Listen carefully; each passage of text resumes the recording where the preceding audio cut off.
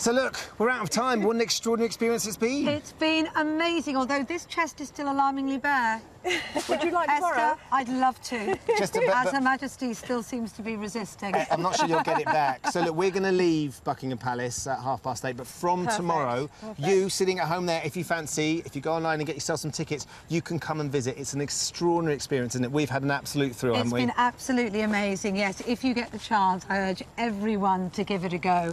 The carpets are so thick. I couldn't believe it. I had to run down barefoot. It was like running on cotton wool. Amazing. Carpets are thick. There's not a dust And inside that's as my well. side. It's absolute heaven.